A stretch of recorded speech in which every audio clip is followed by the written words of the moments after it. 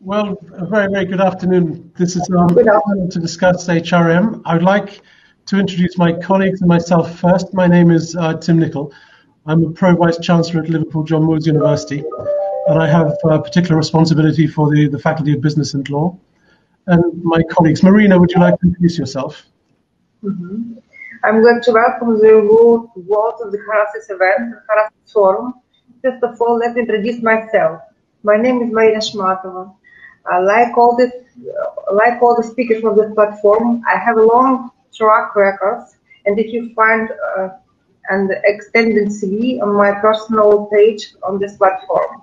But on this panel, that I represent the Mozambique Russia Development Corporation and the Scientist Council of the Financial University under the President of the Russian Federation. I will divide my special in my speech the two parts. It's, can I, can I? That's great. Let, us go to Shoummo first, and then we'll come back to your uh, substantive presentation. Yeah, mm-hmm. Shoummo, could you introduce yourself? Hi, mm-hmm. it's Shoummo Acharya. I'm the chairman and founder of eTrans Solutions Limited. Uh, we are an India-based company which is in the business of telematics, which is global positioning system and network video recorder, and mm-hmm. we create an integrated service to the customers. Uh, we've been working. We've been. My my company is now twenty year old, and I am a reasonably old guy in Horasis. I've been attending it for the last five years. So I think that should be all. Over to you, Tim. That's great. Thank you very much. And uh, we hope to be joined by a number of other panelists, but they're busy having some difficulty dialing in, so they may well join us as we go through this discussion. But can I just say some words of context, first of all, for the discussion that we're about to have? So I think this session is really about the future of organizational HRM. Um, and before going to the panel, let me set this, this discussion context. So in recent years, we've, we've seen very much a shift in corporate dialogue. Whereas organizations have previously defined their relationship with society through vision and mission statements, I think we're increasingly uh, looking at organizations and asking them to be much more explicit about their purpose. And purpose has a much broader societal context. The idea of purpose is located very much within a broader stakeholder context and responds to narratives around climate change, uh, the eradication of poverty, excess profit taking, modern slavery, inclusion, uh, gender equality, diversity, and then we have the whole debate around the future of work, particularly um, in the face of technological developments. Many of these things are reflected, of course, in the UN sustainability goals. And I think what we've seen um, is that these are no longer issues just for political debate. As organizational leaders, we can't just say, well, these issues exist in the realm of the politician. We'll get on with, with making profits, etc. And this is partly because of the democratization of public debate through the widespread use of social media. This means essentially that we're challenged as individuals to examine our own lifestyles, our attitudes, our behaviors, our beliefs. And then in an organizational context, uh, we're being asked to redefine how we manage and how we lead to address the changing external environment. If I go to the pre-COVID days, uh, much of the discussion in an HRM context concerned generational expectations. Uh, there was much talk about skill shortages about access to training and education in different parts of the world. And there was also shifts to working patterns We're on the expectation that there'd be significant impacts because of artificial intelligence and other technological developments. Interestingly, during the COVID crisis, these issues have been brought into focus. Um, we have particular jobs, concerns around job security, around job preservation. For those who are still employed, we have many home working. This itself has brought many challenges from an HRM context particularly in the issues around poverty, around issues of loneliness, issues of mental health, and issues of well-being. And I think as the purpose of organizations change, we're therefore forced to question how HRM will change as conceptions of purpose, role, and responsibilities change. And I hope that in this, this session, we're going to explore what some of those changes may be. So um, it gives me really great pleasure to, to go across to um, our panel members. I wonder, I'm just going in order of the, the panels that are in of the the uh, panels that are in my face. So Shoummo, you're directly across from me. Would you like to, to start first with your presentation? Then I'll come to Marina. Right. Uh, uh. Thank you very much. Mm-hmm. I will tell you about the experience of the, of the working uh, throughout the pandemic in, the, in Africa in public-private partnership and about the global community of entrepreneurship. And the second, I will formulate, I will formulate my conclusion of the vote and the work of the now, now reality. So, uh, so I hear me? Yeah? Yeah. It is not very clear. I don't know. I'm not hearing it very clearly. Is it very clear, uh, Tim?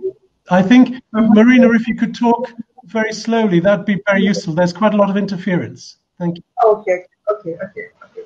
At the beginning of this year, two big invitations, two strong events come into my life. The first is the visit of the inauguration of the President of Mozambique with His Excellency Filipe Nyusi. And the second, the Justice Horasis Forum, which was supported to wear this spring. Together with the best representative of the Russian uh, entrepreneurs, we flew to Mozambique in January and immediately decided to set up the Mozambique Russia Development Corporation. Seen in the region as a huge, huge potential for the businesses, for the different businesses, and and and, and the implementation many many uh, innovation projects in the new region for us. And we will and we impressed by them. sorry I had I have me you're, you're, you're, becoming much fainter, I'm afraid. Sorry, it's, it's connected. It's, it's. We're by we're impressed by the opening the goodwill for the government and the business community, as well as with one of the uh, natural resources. We month, we register the company and as soon as we receive the document, we will block it with a global, global world pandemic. Global world problem is pandemic. Together with the, with the businessmen from different countries, different businesses, we will work, we will work together. And, and, and we started to work together.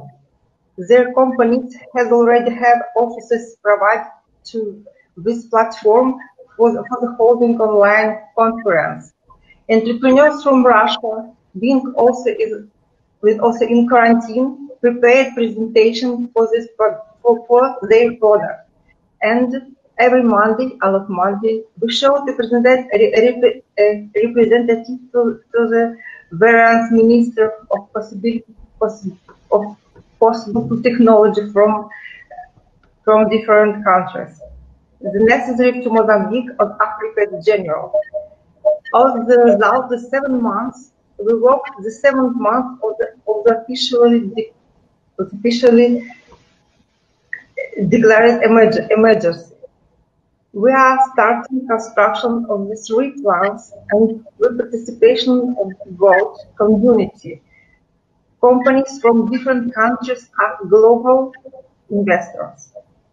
The first, the first waste recycling plant and power plant construction started with the city Beira with the support of, the, of, of the, His Excellency Daviz Simango is the mayor of the city.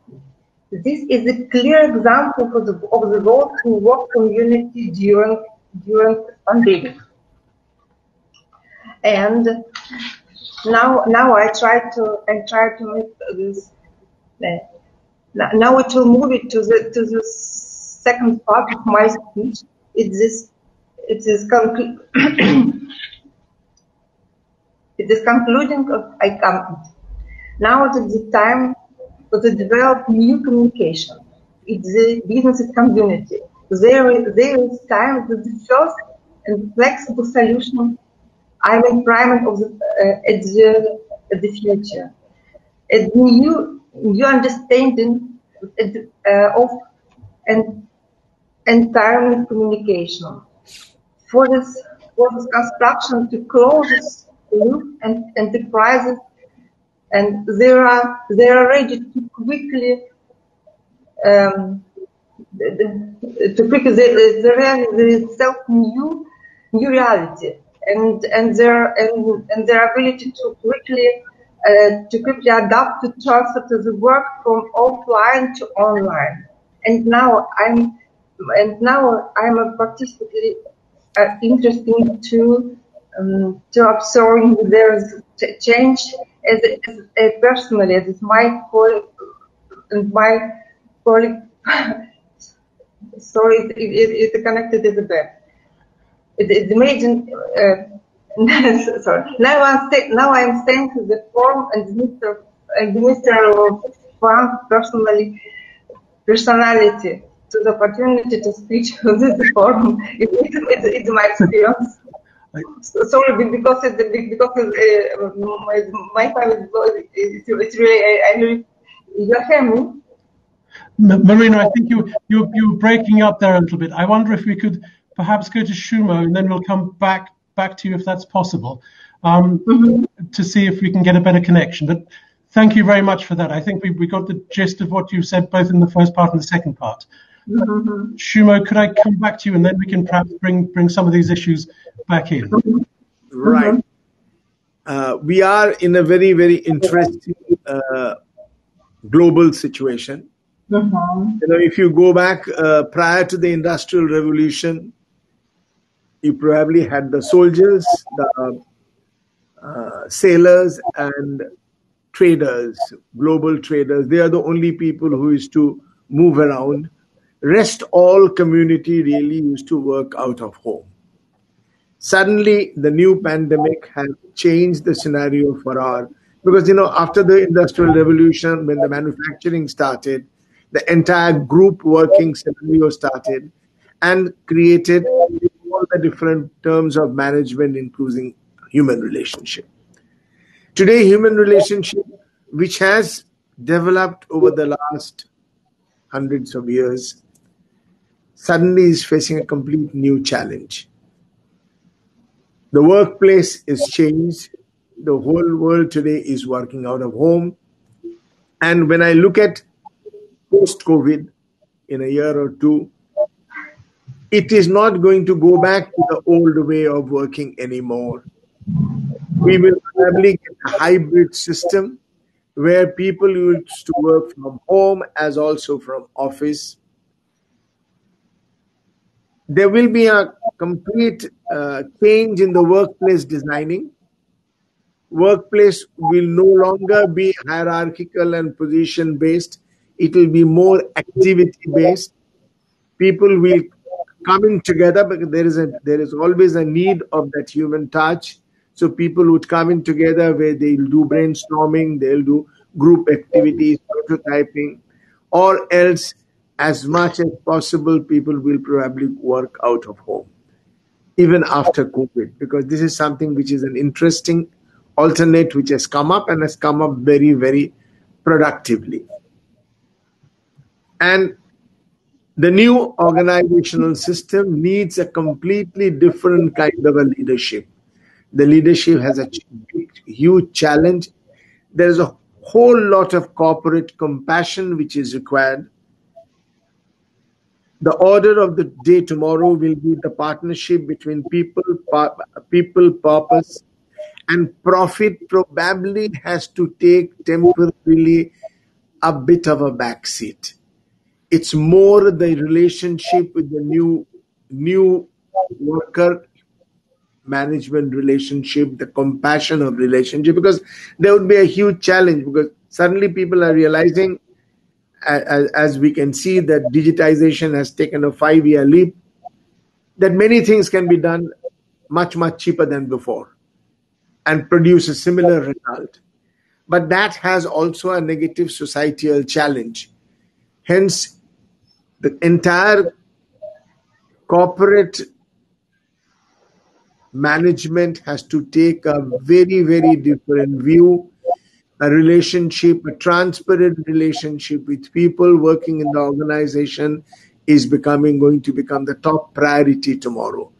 And it is important for the entire management system of the world to ensure we work together to retain as much people as possible in the organization, retrain them, create, allow them all kind of facility and infrastructure to be able to work effectively because this work from home is really made a change in the environment. Earlier, it used to be only in the IT industry. Now it's become prevalent into all industries.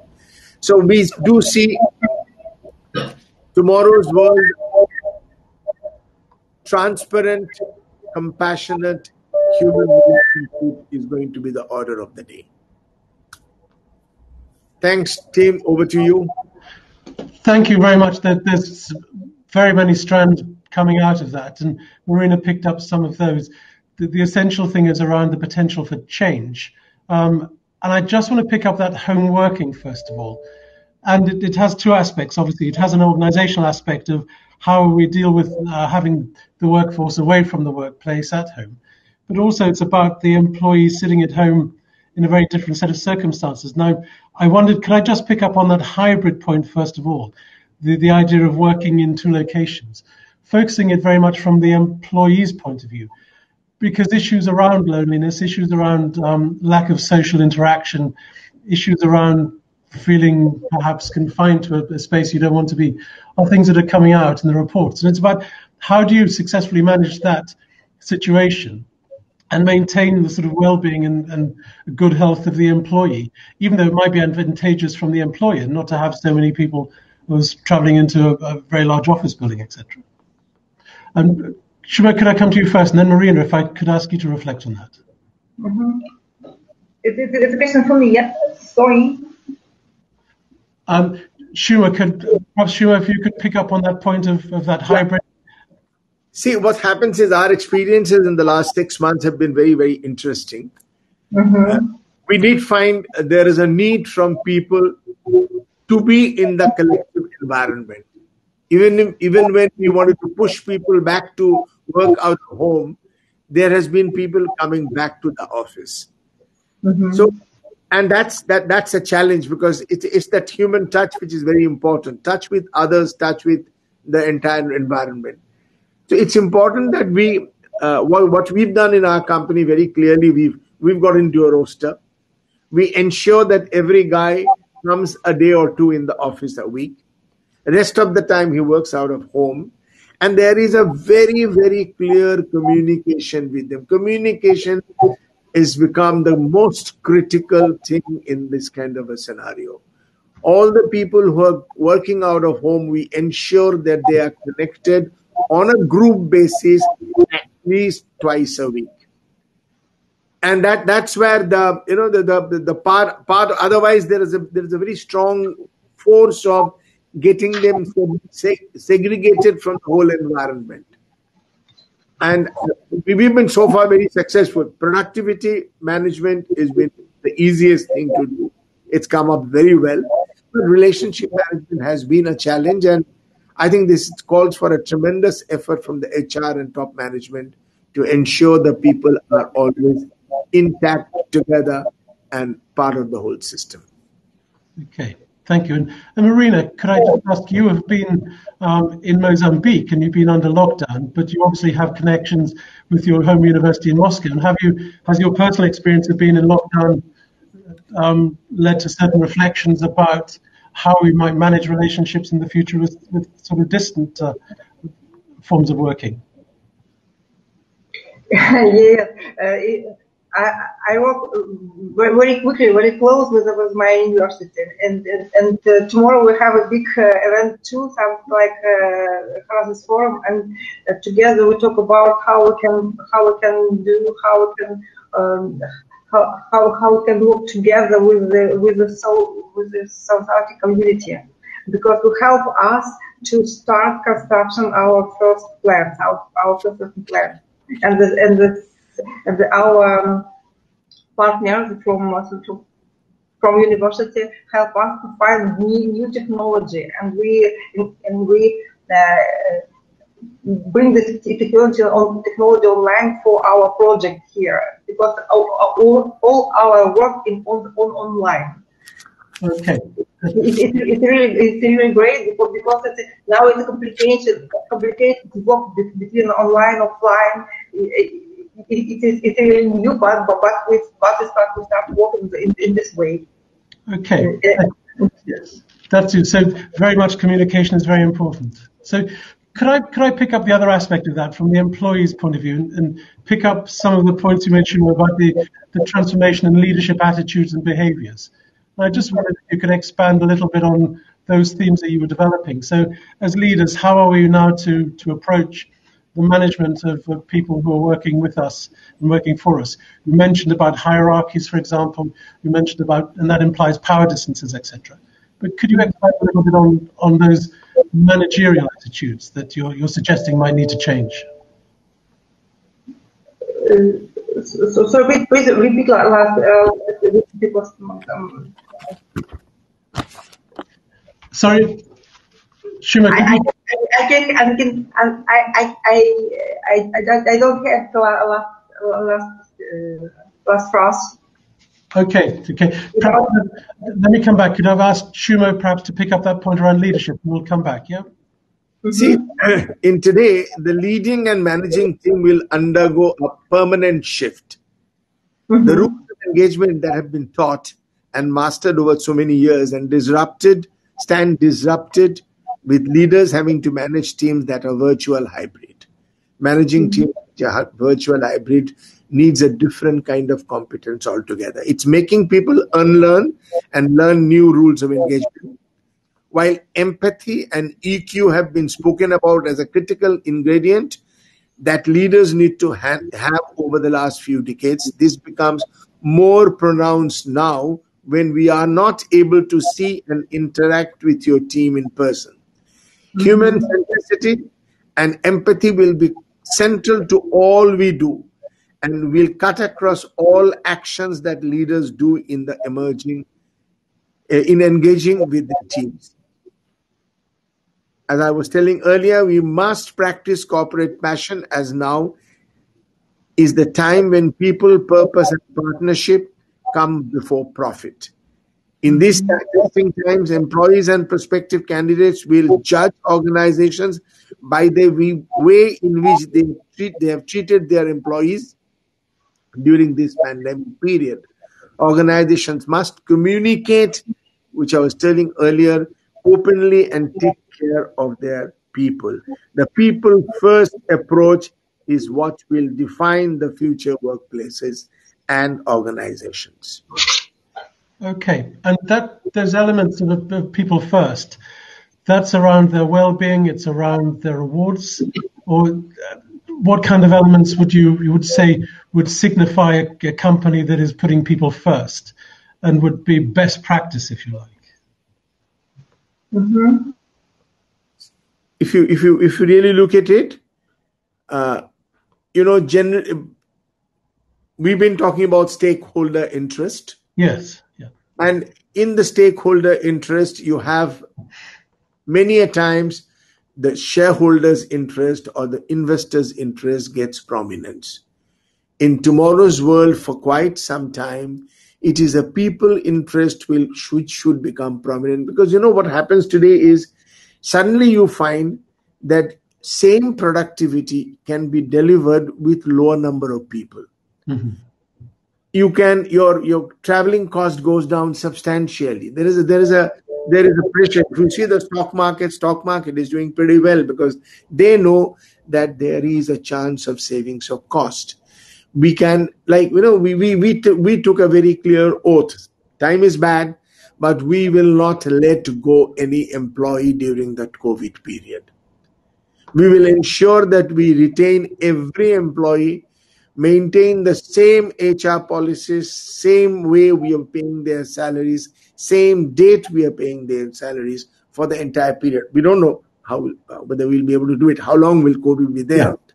But this is something which very very you know people employees might much see. There are many employees see that you know they feel they can be disposed of, but it is the last thing a corporation should do in today's environment. In today's environment globally, you need to ensure that your employees are protected.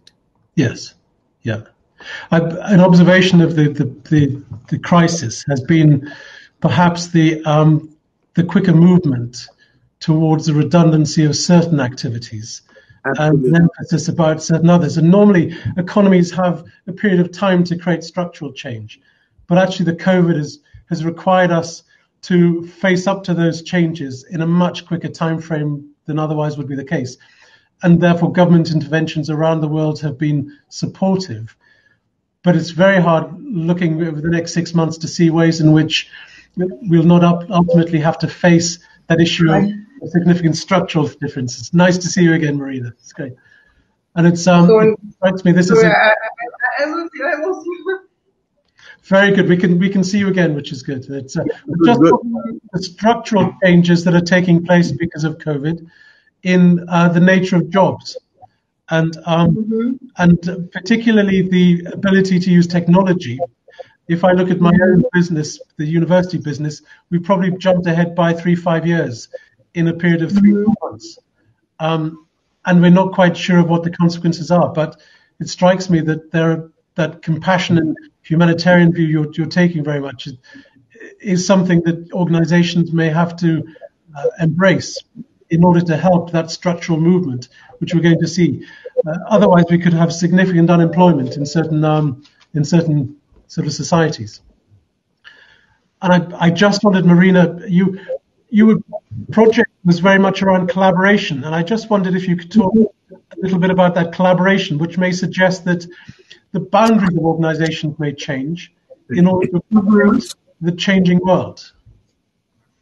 Mm-hmm. Uh, yes, um, because now I'm involved here, and all these businessmen around the world work with me, and we, we make new collaboration around the world. And uh, today, the, um, our company uh, work with work with different uh, different different uh, corporations around the world. It, it's a, um, ExxonMobil, it's Total, it's the Russian, it's our company, the university, and and and to, today I don't know how, how I can how can how, how I can explain this business, but it's new for me because because it's a it's, the, it's, the, it's the local material, it's the local material from Mozambique, but because it's the different engineers, it's different, uh, uh, yeah, different managers here, and and we and and we make new new and new construction the, in, in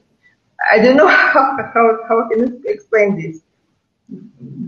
Okay. okay. Uh, that's it's very useful. I just can I just pick up on a separate point, and this is about the um, it's about the water cooler point about sort of um, the workplace, and it's often the the issue that um, the informal social interaction is often a source of innovation and creativity within organizations.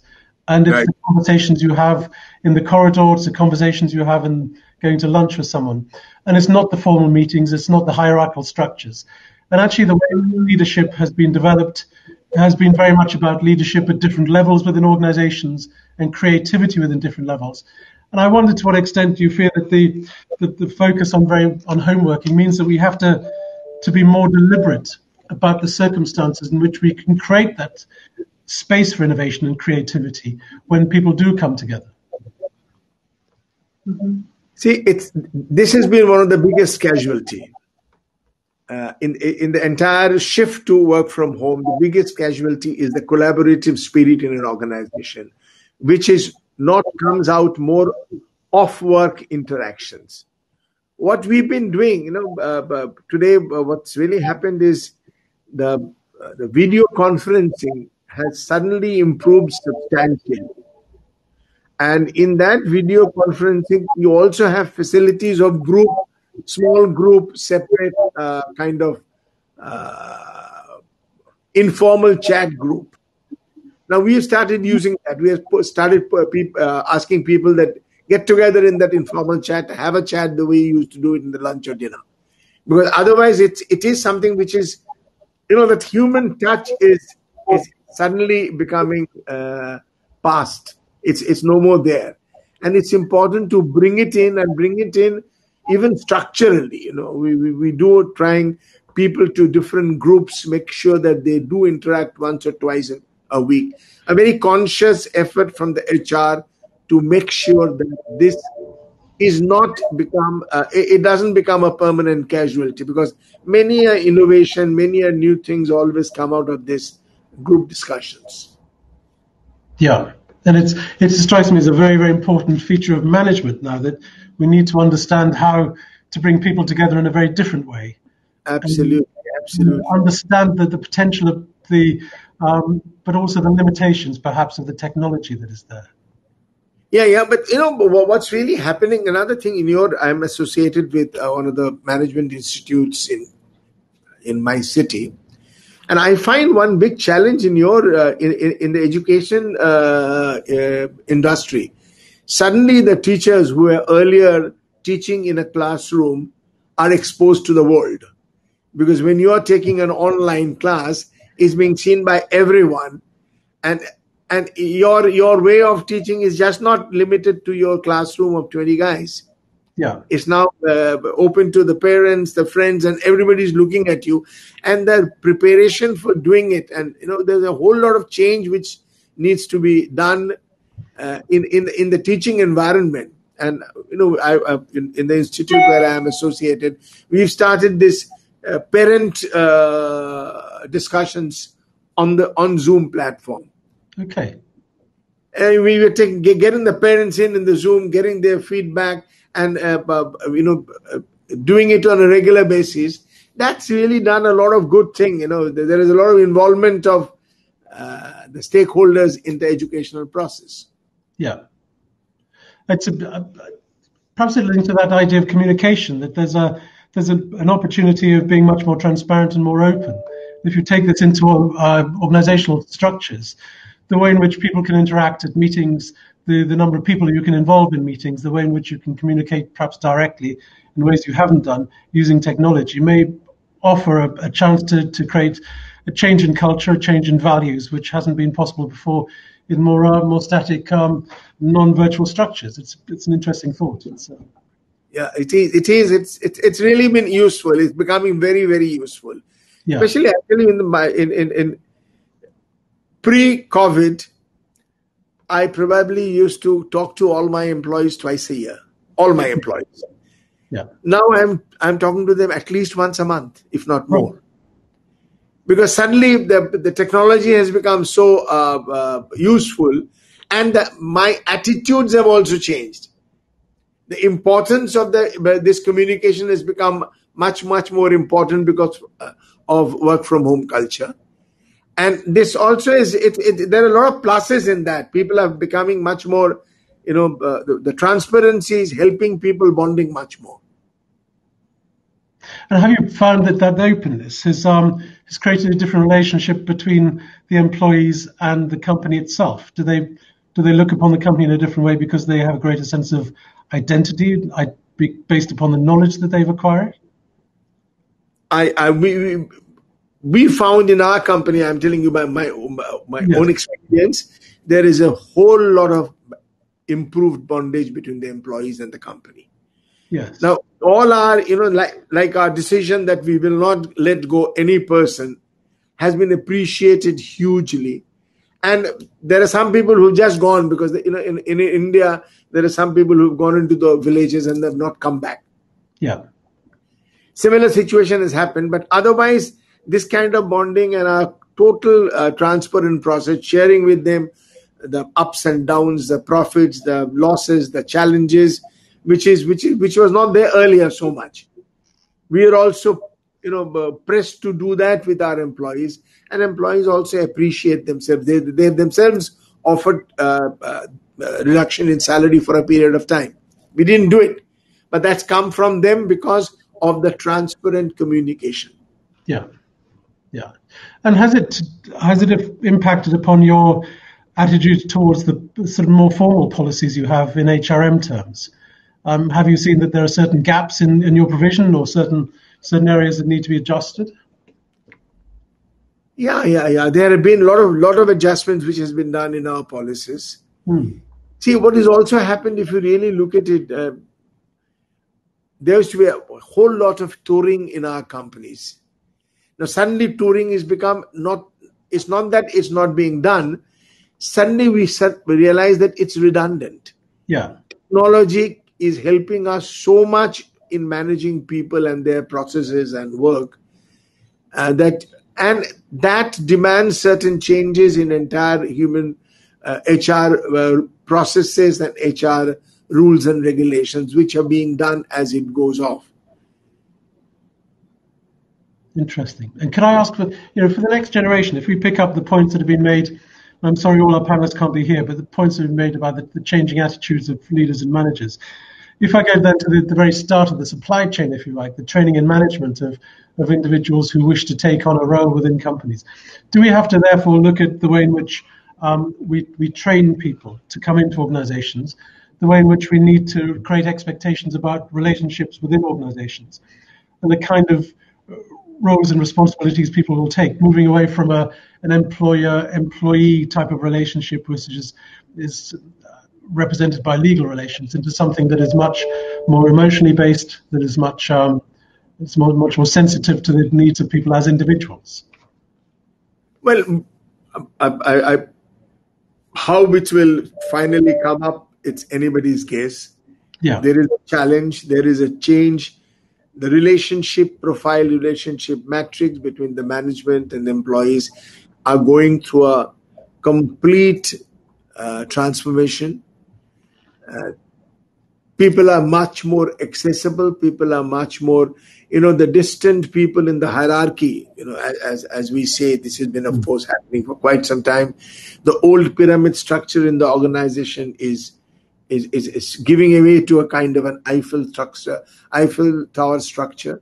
Hmm. The middle management is suddenly moving off, and a direct communication with the lower management is working much smoother, much better.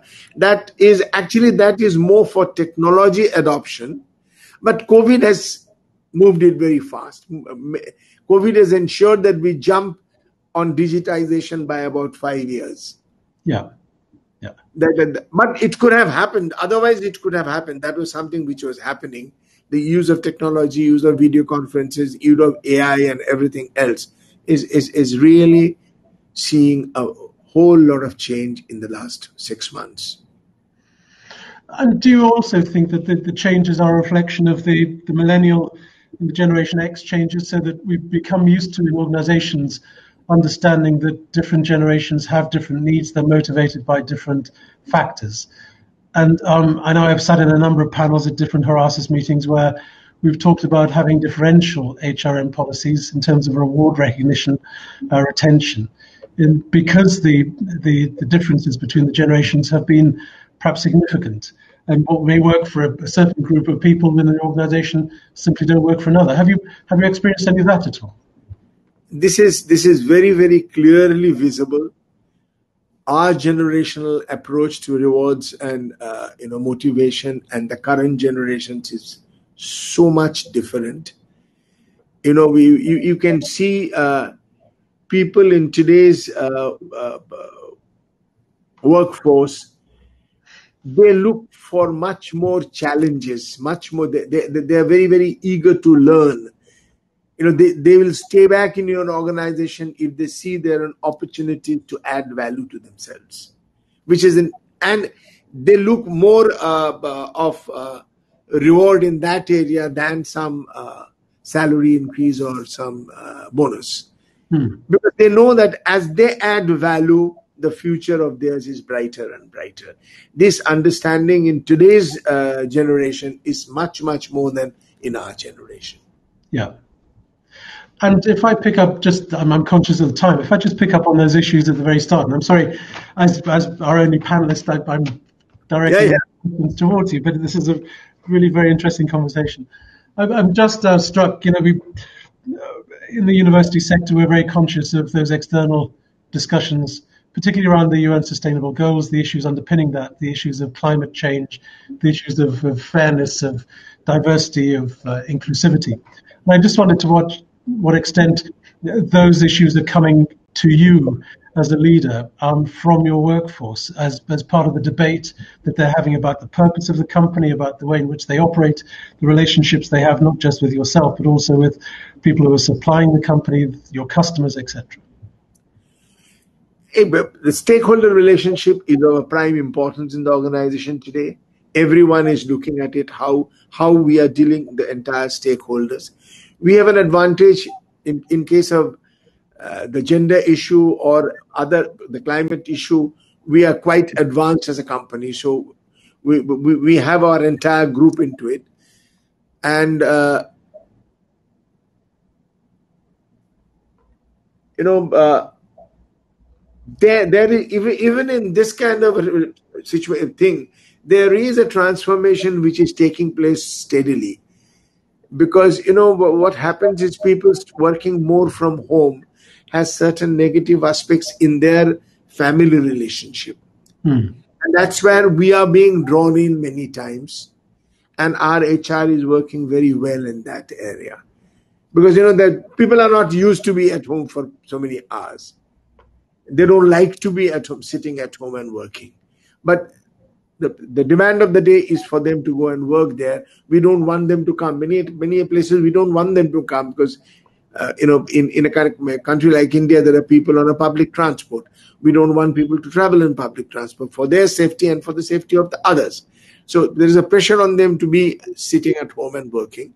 Yeah. but there is that also has a their, their family pitfalls. Today, these are coming into the company HR domain. HR has really been moved to not only working on the relationship with employees, but a step forward on employees' own family relationship. This is a new aspect which has come because of COVID and has taken an important place in the organizational systems. Hmm and that requires a very different response from an HRM department and very different skill sets sometimes. Absolutely different kind of a response. Very, very compassion uh, is required, understanding the other side. You just can't do it like it, it can't go on a uh, rules and regulation based, much more EQ and feeling based you got to sensitize uh, your HR people properly so that they are in understand that additional responsibility. Yes, yes. That's quite something. Now, I'm conscious we've got two minutes left. I, I just wanted a very, very quick question, and this is the, the, working from home may be a short-term measure, but I get the sense that this is now a structural change that's taking place in the workplace. But the issue of digital poverty is raised, and, um, and also the infrastructure around connectivity. And we, we are suffering from this conference from, from some of these connectivity issues. But it's just it strikes me that this is uh, this is quite an issue that has to be tackled by organisations if they're to make um, this transition successful. It has to. We, we, we all have to work, ensure that we provide the infrastructure to our employees so that their their connectivity is the absolute number one priority in the in any organization, any country today and there is a whole lot of challenge on the uh, uh, service providers in that area. And uh, but I must say that uh, uh, even in India, where we don't expect us to be so good, but we, we are doing very well because uh, I'm connecting with my people on a regular basis, yeah. and it works. It's working pretty well, pretty well, yeah. and it's very satisfying. You know that things are working. We are not. We are much better than the Horasis conference. Well, look, I, I'm conscious we've got a minute left. Can I thank you very much as the only surviving member of the panel? Uh, it's been a fascinating conversation. Angela, as well, could I thank you very much for staying with us during this session? Um, I'm sorry the other the, the, other four speakers weren't able to join us, but um, I really look forward to meeting you at um, at other physical we'll, conferences. We'll definitely meet each other. Thank you very much. It's been thank pleasure. you very much indeed. You. Thank you. Okay, you take bye. care. Bye bye. Thank you very much.